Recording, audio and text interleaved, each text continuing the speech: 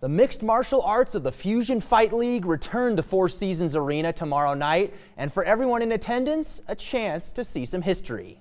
The intense cage fights of the Fusion Fight League once again come to Four Seasons Arena. The co-main event features 25-year-old Serena DeJesus as one of the fighters, aka the Southpaw Outlaw. DeJesus has racked up an impressive amateur fighting record. Not only is she set to make her pro fighting debut in Great Falls, she will make history becoming the first known professional MMA athlete with autism during National Autism Awareness Month, no less. Feels nice. This is like kind of a dream come true because regardless of the outcome of what's of uh, the fight on Saturday, I'm a pro.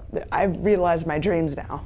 You know, and I'm just going to keep on chugging from here. But I'm going to see if I can add another Fight of the Night uh, award to my name uh, on Saturday. DeJesus is quickly becoming a role model for her fans, the autism community as a whole, and other MMA fighters such as Roxanne Modafferi. Roxanne and Serena have become very close friends over the past few years and have trained together. DeJesus will have her friend in her corner Saturday night as she sends a message to everyone that just because she has a disorder like autism doesn't mean she's weighed down by it. That's a big reason why I fight. Um, I want to show that, you know, there can be good role models in the autism community. Everybody looks up to fighters and if I can be that strong example of like, you know, you can do it, you know, even if something's hard, just try, try, try again. It's great. I have two siblings who are also autistic and they're doing it too. One of them wants to fight like me when they get to be of age and the other ones do it to be uh, social and, you know, be healthy, so it's nice. I can honestly say that Serena is the hardest working person in the gym.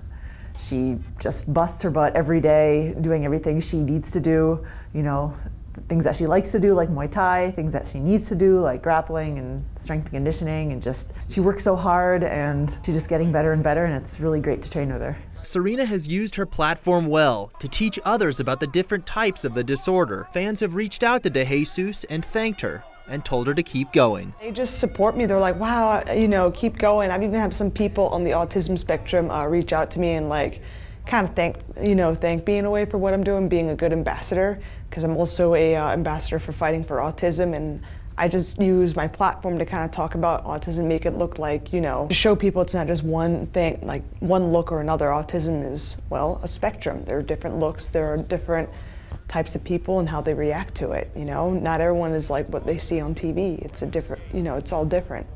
Jesus will fight 33-year-old Kelly Skittles Clayton in the 135-pound pro fight at Four Seasons Arena.